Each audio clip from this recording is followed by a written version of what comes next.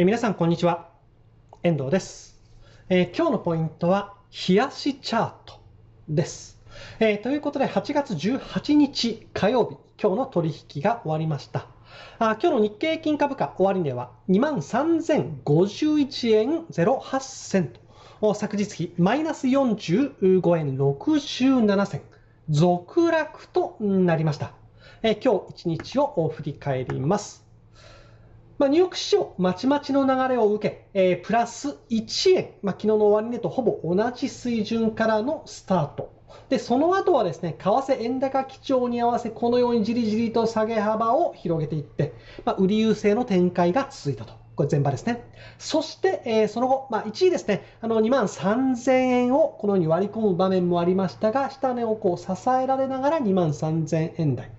えーまあ、これを回復。で、5番はですね、え回復した後、まあ、前日同様大きく売り込まれることはなく、まあ、揉み合いながらも2万3000台を死守して大引けを迎えたということになります。まあ、ただ、商いは依然として、ま、換算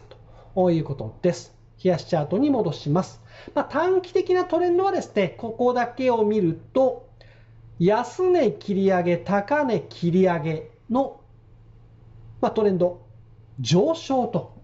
短期的上昇ということが言えます。安値高値いずれもこのように切り上がっている。でマックリーはゴールデンクロス中今日で6日目です。えとはいえですねえ昨日今日は夏枯れ相場を象徴するような展開とえー薄商いが、あまあ、今日も継続、幻の S q を維持しながら株価は続落となっているということですね。えー加えて外資の手口もですね、日々異なる動きを見せていますので、まあ、い一方向っていうんでしょうかね。買いの時はずっと買いが続くのではなく、まあ、買いが続いたら今度売りに変わるですとか、あなかなか不安定な動きをしていると、分かりにくいということになっております。8月14日につけた、まあ、高値ですね、23,300、38円79銭、これを上限として25日線までいつ落ちてもおかしくない状況ということが言えます。まあ、その背景にあるのは週足、そして月足チャートにおいても引き続きもみ合いが続いていると。上にも下にも動きやすく方向感が定まっていないということが言えます。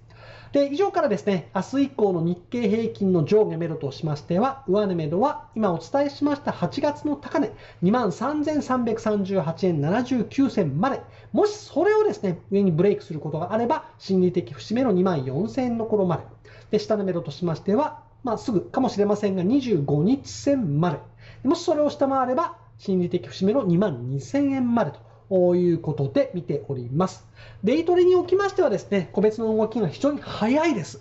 えー銘柄選定さえ間違えずですね、そして、あのー逃げ足ですね、えー逃げ足を早くすることさえできれば問題ない、そんな一日でありましたね。で、まあ、今日は特にですね、今日の前場の生放送を行いましたけれども、マザーズを中心としたより強いデイトレの適正銘柄に資金が集中していましたので、まあ、放送中に、まあ、いろんな方利益確定されましたけれども、10万円以上利益確定できたという報告もありましたように、我々も非常に嬉しく思いました。で、さて、えー今日のポイントとして挙げました、冷やしチャートについてですね、で、あの、今日、この放送終了後にですね、あの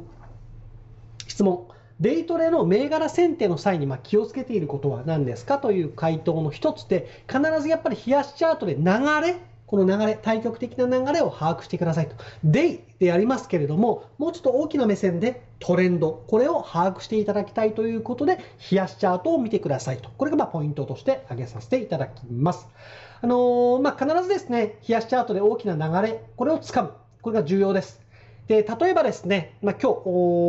そうですね、取り下ろされたから、イグニスとかありましたよね。3689イグニス。これ、全体的な流れ、どうでしょうか？こう上ですよね。トレンドは上方向にここのところも動いていますよね。上昇のトレンドが継続をしている。これだと、買い目線で全然 OK なんですね。で、逆にですね、例えば、えっ、と、そうですね、でしょうかね。何にしましょうか。グレイスとか、これ東証一部ですね。これじゃあトレンド冷やし上昇かというと上昇じゃない。買ってよくないんですね。買いではない。だから下げたところを上げたけれども結果安値をさらにドスンって落ちてますよね。これは買いじゃないですよね。例えば、あとは、まあ、そうですね、東証一部で見ると、三菱自動車とかもそうですよね。トレンドは下ですよね。だから今日朝一で買った人は含み損のままということですね。で、さらに、まあ、盛り上がりました銘柄でいくと、あのー、楽天、トレンド上方向に動いたかと思いたら思ったら、ここ連続でずるずるずるずるずるずる株価下げていって、移動平均線も割り込んだ。これはトレンド上か下かって言ったら、上ではないんですね。まあ、上でもなければ、まあ、基本的に下でもないということで、もみ合いというチャートの形になっておりますで、これもダメですね。だから今日、踏まして買うポイントなんてないですよね。結果、陰線をつけておりますから、今日の安値付近で終えております。ですので、流れが上方向では買いの場合ですよ。上向きでない銘柄に入っても騙しにあったり、このように上昇を狙ってエントリーしても、結果さらなる下落によって、つまり冷やしていうところのこの陰線が実現することですね。陰線のローソク足になること。含み損が拡大をしてしまうと。こういうことにつながりかねません。ロスカットできればまだいいですよ。そのまま保持して含み損を拡大させることになりかねない。で、さらに、まあ、いよいよ来るかという銘柄が来ても、他の銘柄ですね、チャンス銘柄があったとしても、ただ、これをロスカットせずに持っていたら、指を加えて、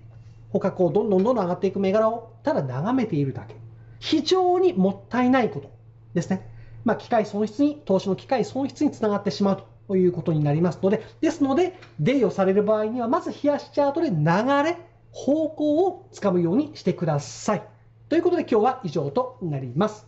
明日もですね、全場デイトレ生放送がありますので、えー、ぜひ皆さんも、利益確定、目指してではなく行って、え、ください。えー、それでは本日はここまでといたします。えー、皆様のチャンネル登録とよろしければあ高評価ボタンぜひお願いいたします、えー。最後までご視聴いただきましてありがとうございました。それでは失礼いたします。